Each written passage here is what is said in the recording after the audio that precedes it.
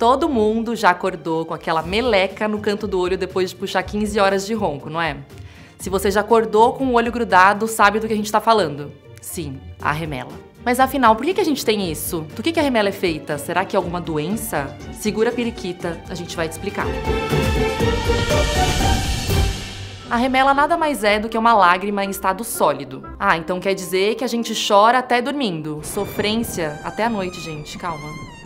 Segura. As glândulas lacrimais produzem lágrimas para manter os olhos lubrificados e proteger eles de qualquer corpo estranho que possa entrar, inclusive durante a noite. A questão é que quando a gente tá com o olho fechado, o corpo continua produzindo as lágrimas, só que ela não consegue ser eliminada. E aí ela vai se acumulando na parte interna do olho, no cantinho aqui perto do nariz. E aí esse acúmulo vai formando uma casquinha que a gente já tá acostumado, né? Mas os especialistas dizem que você não pode arrancar com a mão. O ideal seria você tirar com água ou com soro fisiológico. Mais uma coisa que eu faço errado na vida, gente. Além de ter entrado no Tinder, a gente tira a casquinha do olho com a unha.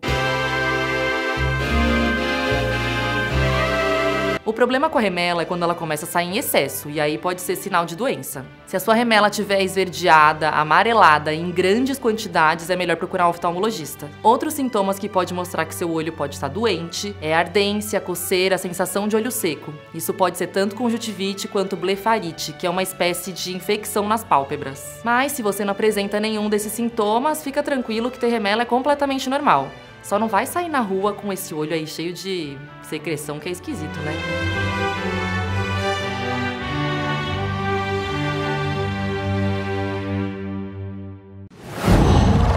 Qual?